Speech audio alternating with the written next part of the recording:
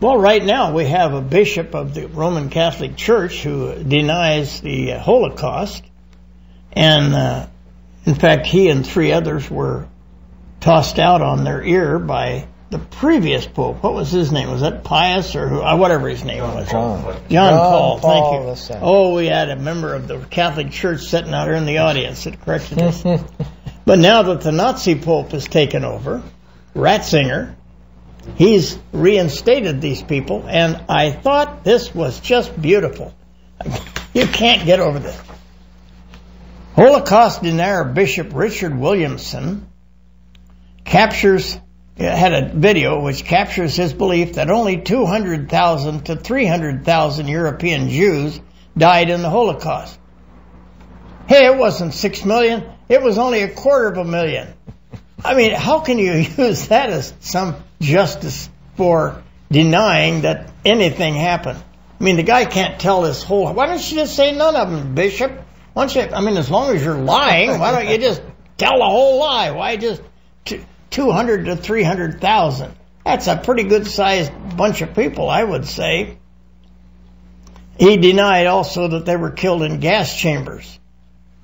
Okay, in gas chambers, so they shot 200,000. So they they starved 300,000. We don't know what it is, but it's it's really it's really scary that the churches are backing up things like this. Oh, there's that name, Fred Leuchter. Oh Yeah? yeah, I know him. There's a movie about him. They call Doctor Death. He's the oh the deniers. He's their hero. He's uh, his job is uh, to build and service electric chairs in prisons. yeah, Electric- and go around and inspect them. inspect them. And he went over to Auschwitz and he and he he dug into the gas chamber walls and he says there's no evidence of cyanide. Okay. Well, the gas chambers were of course cleared out, but they, there's all another thing. The gas chambers in Auschwitz were destroyed after Yeah, the they war. were And they- rebuilt, yeah. and they were rebuilt, and then they say, "Ah, this gives them it's like creationists." You know, you re, you phonied up the evidence.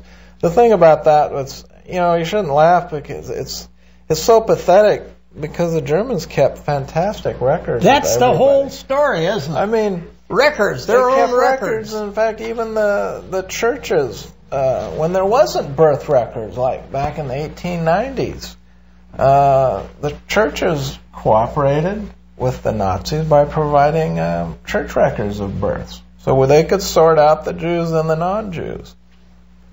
But as we said, there's a history of this.